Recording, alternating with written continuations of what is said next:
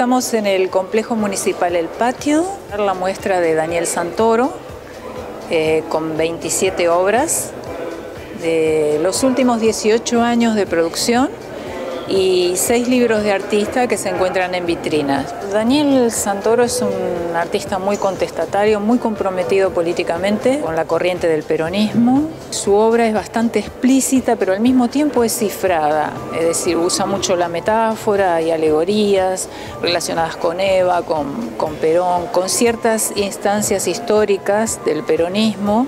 Que vamos a tener con nosotros al doctor Juan José Musi, él fue uno de los iniciadores prácticamente del proyecto cultural que tenemos acá, eh, que está totalmente familiarizado por una cuestión generacional con la obra de Santoro.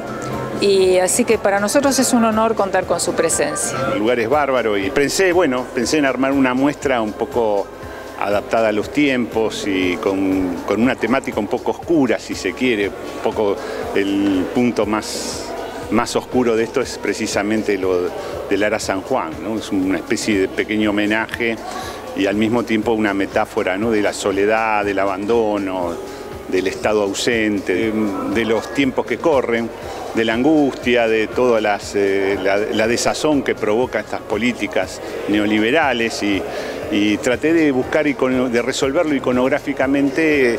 La, actividad cultural acá en Verazategui es eh, fantástica. Vengo muy contento a Verazategui. Eventos como este nos energizan para no descuidar las cuestiones eh, culturales que son importantes para reforzar nuestra identidad. Me gustaron varias obras importantes que muestran una realidad de, de una etapa en nuestra sociedad y estoy muy contenta que acá en Verazategui tengamos exposiciones de esta envergadura.